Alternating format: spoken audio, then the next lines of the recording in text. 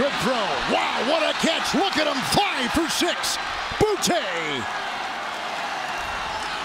Terrific play. Good throw by the quarterback, Zappe, on a 42-yard laser.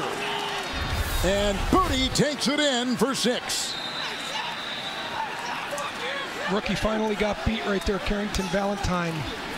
A little bit behind Boutte there, as you can see. The tight end. And Zappe again to the air. This is caught. Looks like for a first down. And Kayshon Boutte